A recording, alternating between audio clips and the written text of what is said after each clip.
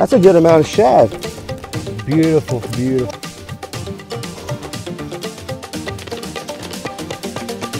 We got a few little guys. How about that? Does that work? Oh, what a pancake that is.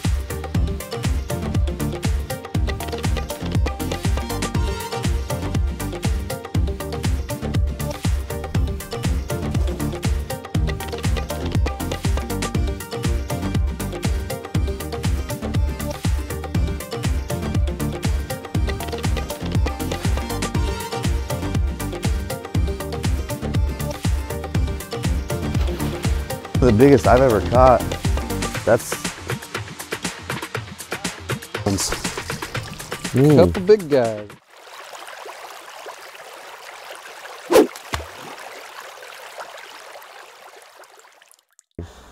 All right, guys, we're here at our spot finally, and we got a little bit of daylight left, so we're gonna get going. So here's how I do it. I basically, I just coil it around my wrist. If you've never, if you're new to cast netting, your cast net should come with a loop already in. When I first started, I used to just put my hand in there, and sometimes it would fling off. So now I just kind of take it and make a little lassie, put in there, and then just loop it up. Two to three feet at a time, who knows. And then I grab the horn, hold it with my hand that's holding the rope, take it about another uh, foot down right here, and kind of bring it down like there. And then you want to take right where your waist, is, just kind of grab it right there, and you kind of twist outward, not inward, outward. And then from here, it's kind of should be sitting kind of right at your waist level. What I do is I take about two thirds of it, pull it out, about like that, and about foot, foot and a half high, and then again twist out. So that wrist rotating outward, because when you throw it, you want it to release properly. At this point, you should be holding everything all in one hand. Got about a third down here, two thirds up here. All you have to do is take your leader line closest to you, pull it up to you, and then you just kind of release right here and kind of let it fall, uh, kind of throw out and release. And then you kind of let it just float off your hand a little bit on this side. Sometimes I give it a little bit of spin, but we'll see what we get this first cast here. Um, I like to kind of hug the little wall over here, so.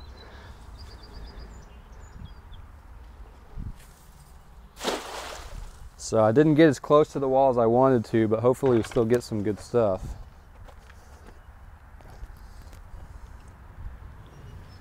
I let it sit on the bottom for a second and then I pull up.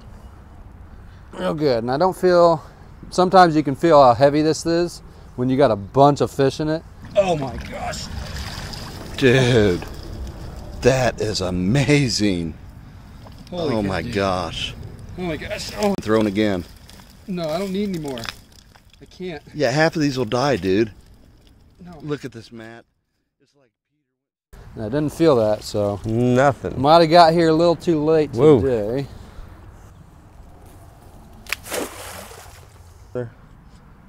Possibly. That's the plan.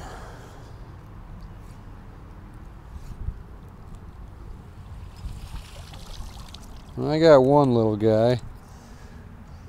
That's uh would you put that in your tank? I think I'm good. He- I'm good. He's he's fairly tiny.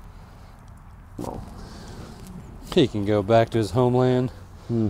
Let's try the second bay and see what we get. It's real muddy over here.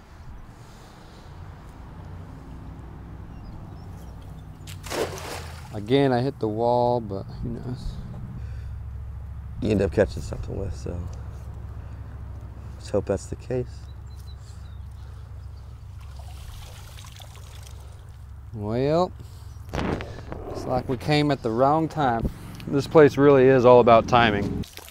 This is also a spot we get a lot of our shad at this time. We used to go out to uh, Olathe Lake, used to have some good spots, and they've done some restructuring. So we'll take this as a sign that we're in the wrong spot right now. So we're gonna go to another spot nearby. It's a hidden spot. I can't tell you. Matt's going to show you how he throws the cast net out, and hopefully he gets on something. Yeah, hopefully he can. All right, guys, we're at the other spot. Too bad we couldn't get anything at that last one, but Nick was throwing some good ones there. So here's my net. I'm a little weird. It everything starts for me like like right from when you open your bucket to get your net. I'm trying to find my handle because once you get your handle, you, basically the loop, you can get that. You're kind of in control now, and you can see any snags. If there's any knots in this, make sure everything's good, and then by the horn, pull it up. I kind of just kind of give it a little shake just in case there was a couple. Anything down here. Now, if there's like sometimes these lines that are in here that actually uh, pull up the lead, sometimes they will, uh, there will be something either uh, uh, in a knot or, or it'll be bound up somehow. So, so a lot of times just by shaking it, we'll get, get rid of that. Um, this is not really, this is just the way I do it. I did, I've done it this way for a very, very long time. Oh my goodness.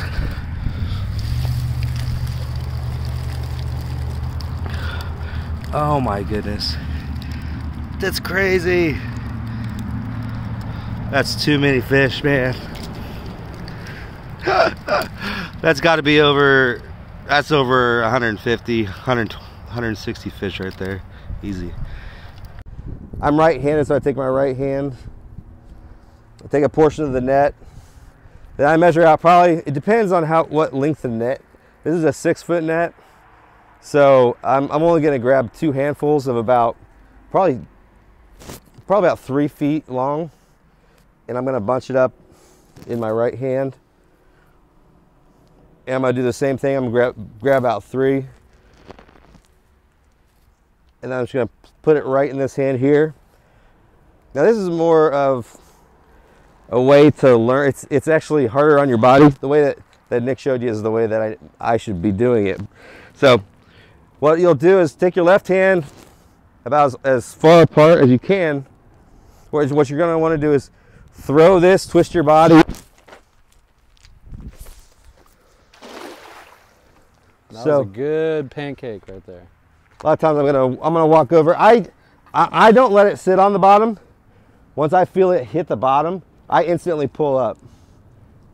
Um, so it's just a doesn't really. So I've got some in He's here. got some in there. Look at that. He's got some So- shad. Perfect freezing shad. Oh man. So that is that's a good amount of shad. Beautiful, beautiful shad. That is the perfect. So typically, uh, typically to us, this would be very, very small shad, and this is about six inch, about six inch, six, seven inch shad.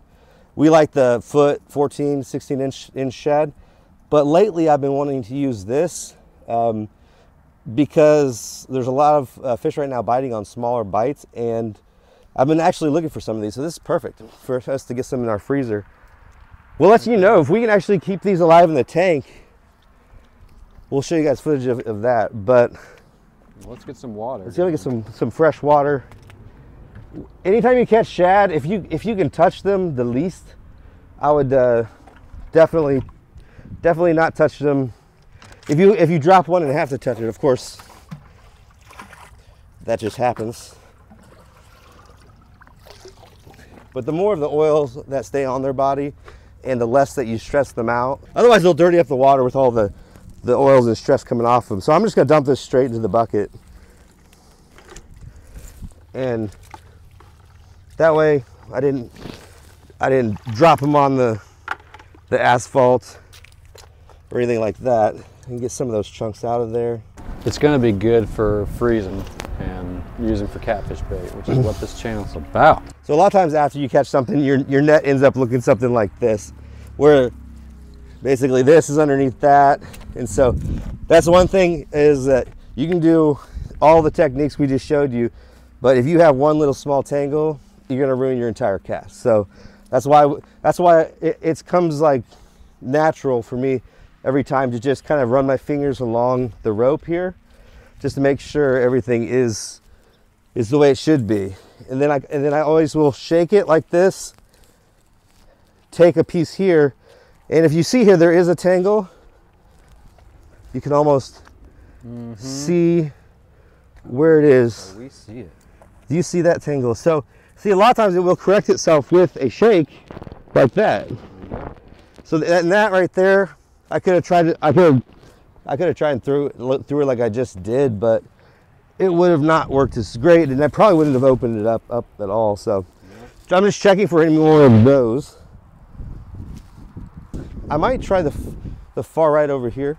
If we get any like bluegill or anything like that, I might just keep them separate from the from the shad, from the gizzard shad, so that we can try and keep those guys alive. As I, I see a fish right here. You see him swimming? Where? He's swimming into that bay. Oh yeah. Well, that's a shad. Is that a, is that a big shad? That's a giant. that- Well, I don't know how giant, but that's a shad, all right. Yeah, I can see So- on camera too. Nick can help me out here. So quality of nets, guys. Um, as you learn, I I, I kind of suggest. I mean, Walmart has some cheap nets, four or five foot.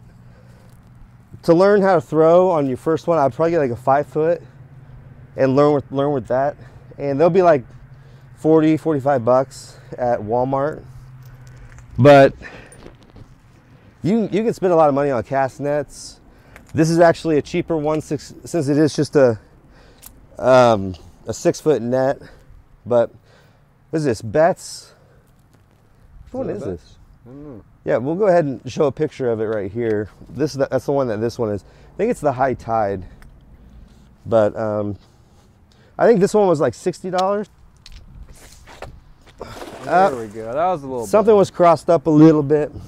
That was better. But I'm gonna go ahead and follow it down, and it stopped right kind of in there. We got something here. We got got- a couple more. Couple more little shads in there.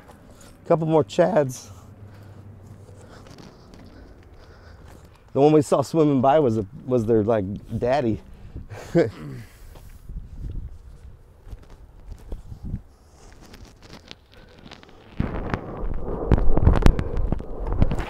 Since we didn't have any luck on the other side, I'll show you on this side again. Again, just like Matt showed you, kind of coil it out. Two, three foot spools. Pull your horn up. First thing you do, make sure you can get a good open net there. Looks All pretty right. open. Since it's open, we'll take it here, get it about waist level here, right there. Do our outside curl, and then since it's already spread out, we can just kind of grab it along here.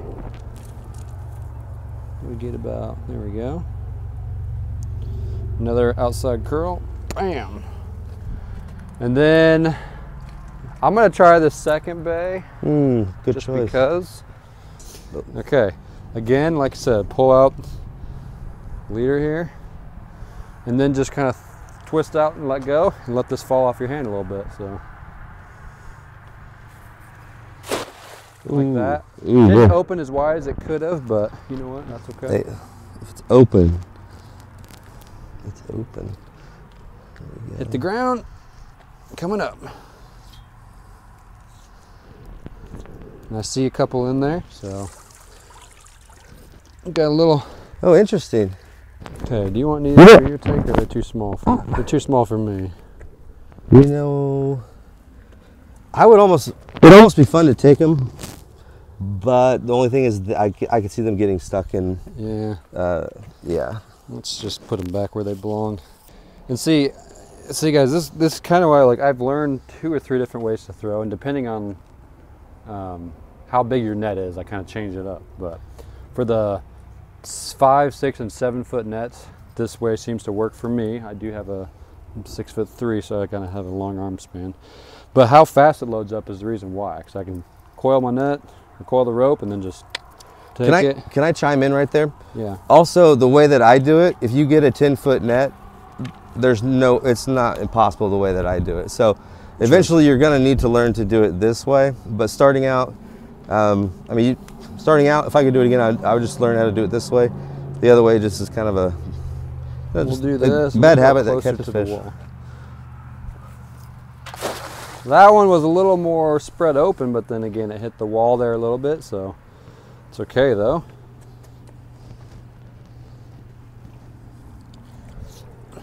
And as you're pulling the fish up, it's already coiling the rope for the next. Okay, we got a couple big ones. Mm. Couple big guys. No, um, that's nice. So, so the shad have moved on, and we are now into the crappie. And of course, we cannot keep the crappie because those are game fish that need to be caught by a pole. But This is good keeping size. Would you keep this? yeah, go ahead. Okay. a lot of these guys, Some of these are. Ow.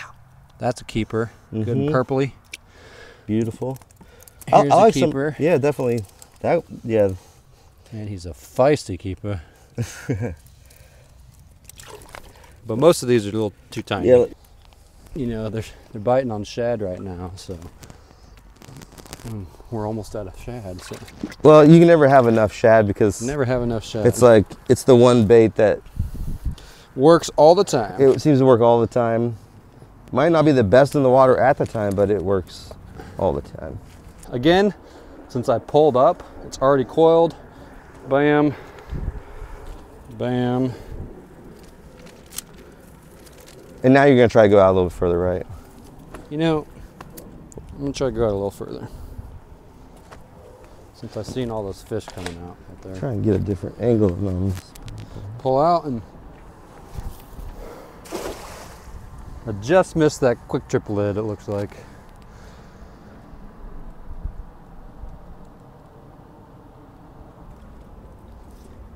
Coiling in as we come in. That's actually pretty smart.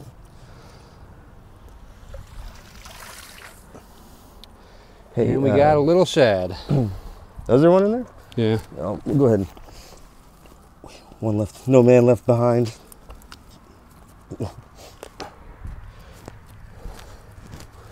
The release. I mean, Seemed like a good pancake right up against the wall.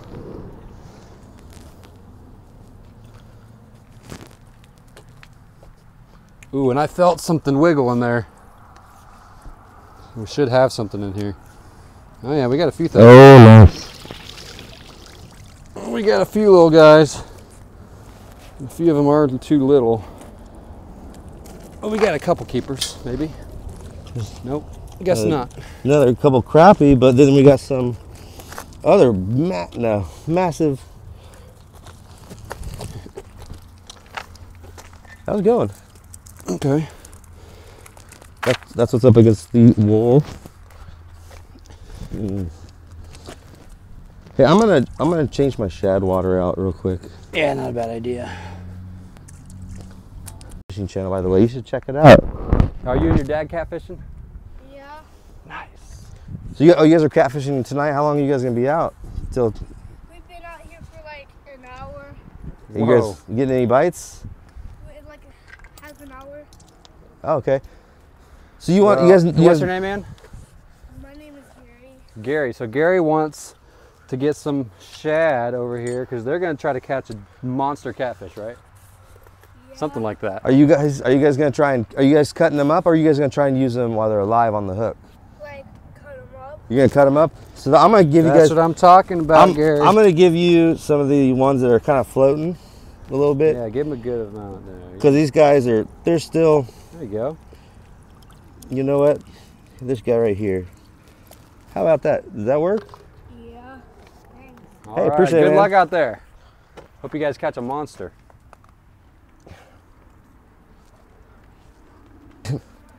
Catfish KC. All right. So we just added a couple more big guys, and I took I took a shad out of the, the shad tank because they're all you know they all kill each other real fast. We put them in here, maybe seeing if they might do okay. Um, I've we're never. bubbling it up, so hopefully some, something lives. So Matt's gonna try and catch a. I'm gonna try. You know what? I've I've had people come up to me while I've kept been casting netting before, and I- you can kind of tell they they might want some bait or they need something. And I always I always a- like, you know, if I have a lot, like I I give them some, or to, I, I usually ask them if they want some. Uh, that's the first time I've ever seen somebody with money. That's so that was cute. That's cool. Um, I might, I might try to uh, right like um, just on the shore where it's kind of messy up here. Catch a lot of bass right out here. Your arm really definitely gets worn out this way, as opposed to the other method. Would you say your arm doesn't really get worn out as? Um, not too bad. It, it, it gets worn out in the sense of holding, you know, five to 10 pounds of lead